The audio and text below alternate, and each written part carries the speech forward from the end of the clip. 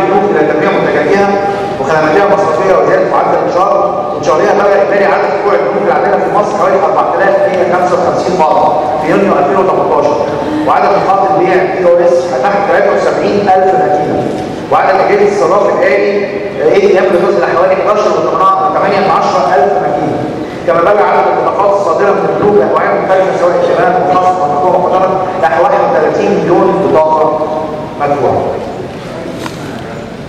السادات والساده آه، في الآخر أحب برضه اوقي على المجهود اللي تم من ناحيتنا حاولنا إحنا كمساعد فيه بشكل اساسي توفر البنك الاهلي كافة التمويلات اللازمة لمختلف القطاعات استمرار الدور في دعم المشروعات القومية. بشكل مباشر وغير مباشر بصفة شريك بصفته شريك استراتيجي في تمويل تلك المشروعات لا سيما المتعلقه بالقطاعات الحيوية مثل الكهرباء والصناعة والبترول والنقل والتنميه العقاريه مما يؤدي لخلق قيمة المضافه وتوفير الكثير من فرص العمل. ونفع عجل من التنمية.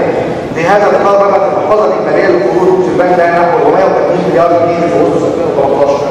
كما يعد البنك الاهلي مساهم رئيسي لقدرات المشروعات الصغيره والمتوسطه حيث بلغ حجم المحفظة نحو 50 مليار جنيه حاليا. من 43 مليار بشكل مباشر و6 مليار بشكل غير مباشر. لحوالي 65000 عميل. كما نفس حجم التمويلات ذلك تحت مبادره البنك المركزي للمشروعات الصغيرة مبادره البنك المركزي نحو 27000 لحوالي 29000 عميل تم وضع خطة لمصلحتنا إن إحنا إن شاء الله 2020 نوصل ل 100 مليار في المشروعات الصغيره والمتوسطه وهو رقم يعني محتاج يتشال جامد جدا. فرقم البنك بتوفير العديد من الأنظمة التمويليه المميزة التي تلبي الاحتياجات التمويلية المتنوعه لتتخطى محفظه قروض التجزئة المصرفية 50 مليار وتصل بطاقات المدفوعه مقدمه حوالي 1.5 مليون بطاقة. بطاقات الخصم مباشر ب 4.10 مليون بطاقة وذلك انعكاس الدم المرض بدرا على التوسع في تمويل الوحدات السكنية لحدود متوسط الدخل عشان وفر تمويلات حوالي 4.7 آه، مليار جنيه لحوالي 47000 مستفيد.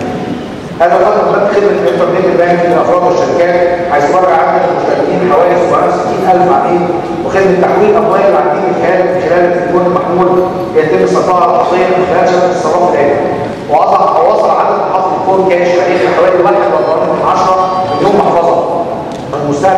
المستهدف الوصول بها لواحد سبعة عشرة نهاية العام الحالي كما يتعاون البنك مع حوالي 20 جامعة لتوفير الانتقال مصروفة الدخل للطلابيات حيث يظهر عدد المستفيدين نحو 600000 طالب حصلوا على انتقال مصروفة الدخل لقيام دفع المصاريف بشكل الكتروني. ختاما وعلى الرغم من التحديات المتزايدة التي يواجهها الاقتصاد العالمي وصفة خاصة بالاقتصاديات الناشئة